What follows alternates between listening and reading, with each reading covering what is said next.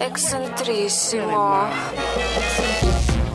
Богатые красиво тратят свои капиталы и похищают их богатство. Тоже красиво. Ограблением века до сих пор принято считать произошедшее пять лет назад в отеле «Карлтон Интерконтиненталь» в Каннах. Киношники могли бы снять фильм об этом, но их в то время в городе не было. Фестиваль не кинематографа проходил, а ювелирная выставка. Собрались олигархи, их жены и любовницы, телохранители и спецназ.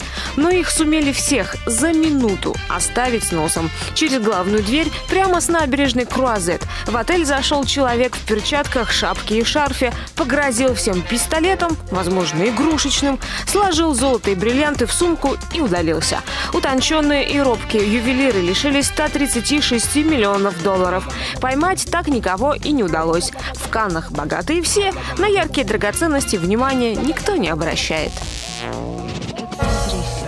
эксцентриссимо.